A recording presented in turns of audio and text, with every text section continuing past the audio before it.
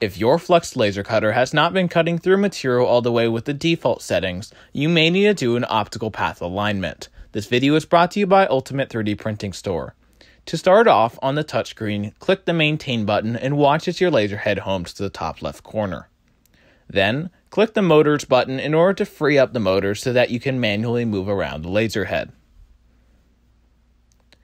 Once you have tested this, Put the laser head back in the top left corner and pull out the tape that came with the flux laser cutter. On the left side of the workspace, you will notice a mirror. This mirror is used to reflect the laser beam and therefore uh, impacts the optical path alignment. Take a piece of tape and put it at a 45 degree angle in reference to the mirror and make sure it is placed as shown. Close the lid and on the touchscreen, click Laser Pulse. You will notice a flash of light as the pulse comes out.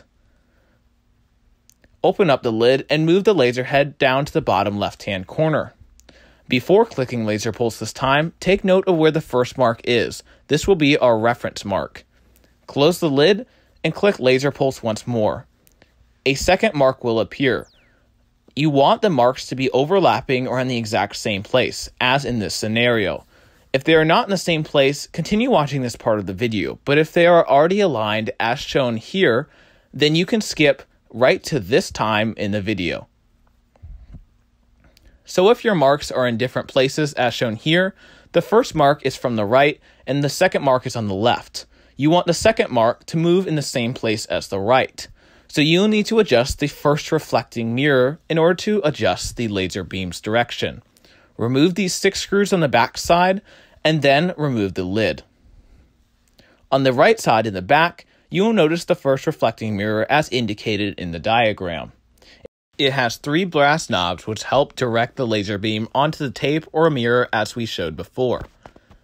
So the first dot is shown here, and let's say the new dot is in the top left. We want them to be in the same place, so the second mark needs to move in the same place as the first mark. We can do this by adjusting the first reflecting mirror.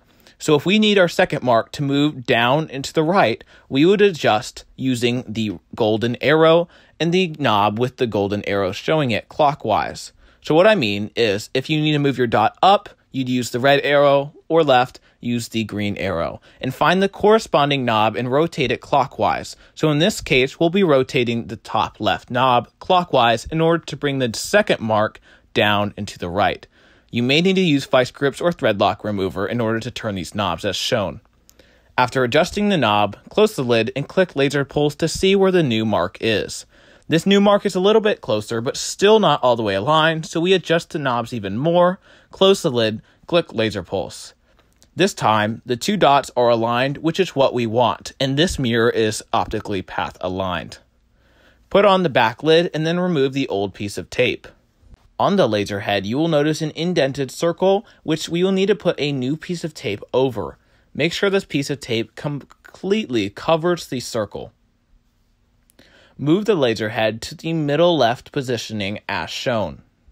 Close the lid and click laser pulse in order to mark the tape.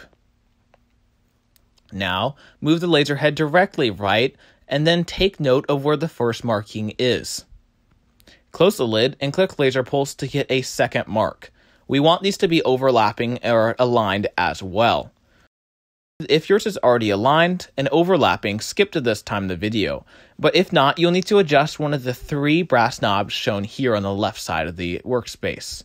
So if our first dot was here, then our second dot was here, we will need to move the second dot in order to align it with the first one, according to this diagram. So we'll need to follow, for this scenario, the green arrow in order to move the dot left, and then move the bottom right knob because it also shows the green arrow. Keep on doing this and clicking laser pulse until the two dots are aligned. Now put a new piece of tape on the bottom side and press upwards against the laser nozzle. Close the lid and click laser pulse. You may not see anything from the outside, but after removing it, you will see a new dot has appeared. There is also the indentation from pressing upwards of the laser head circle. You want this dot to be in the very center of the circle as indicated by the theoretical red dot. So we needed to move our actual dot down in order to move it in the very center. You can adjust the dot direction by moving one of the three brass knobs shown here according to this diagram. So if we need to move our dot down, we would use the red arrow. If we needed to do it left, we'd use the green arrow and so on. And you'd also need to adjust the brass knob clockwise in order to go in the right direction. After doing this, test a new piece of tape on the dot and make sure it is in the very center of the indented circle. Once you've done this, you are done. Thank you for watching from ultimate3dprintingstore.com.